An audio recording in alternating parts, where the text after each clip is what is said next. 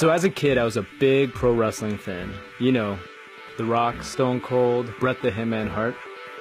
I always used to think to myself, wouldn't it be cool to get into the ring? But I never thought it would actually happen.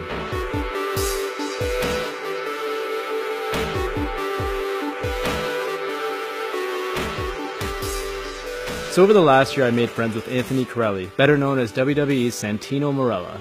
He owns a gym and training school called Battle Arts Academy right here in Mississauga. So one day I was joking around about getting in the ring, and he said, why not?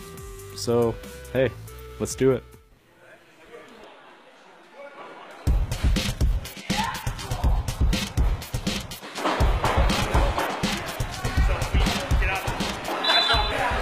Nice, good job. Yeah,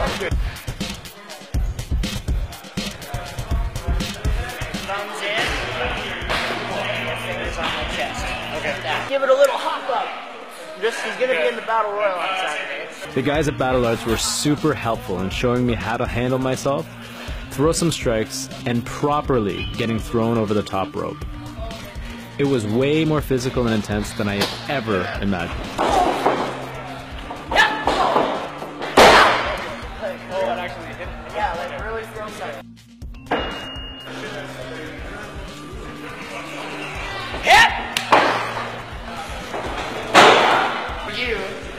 Beginner, to instead of going up here, yeah, it's getting all open up here, sure.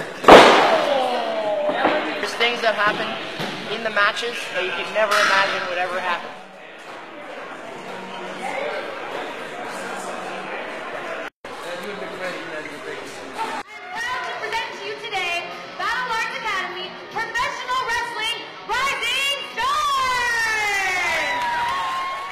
So Battle Arts puts on these pro wrestling shows monthly, and they had me enter an over-the-top battle royal.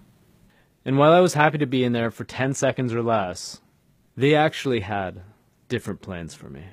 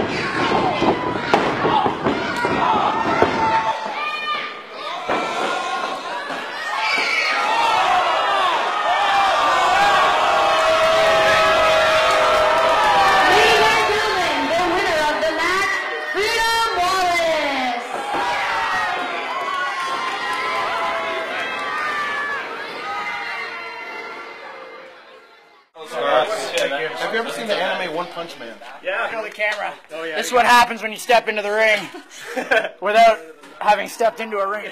In my short experience, I took away a lot about pro wrestling. You combine athletics, stunt choreography, improv theater, storytelling, and it's all in a live environment. Most of all, I saw what a family the locker room is. They watched out for each other, and no match is good unless both participants are performing together as a team.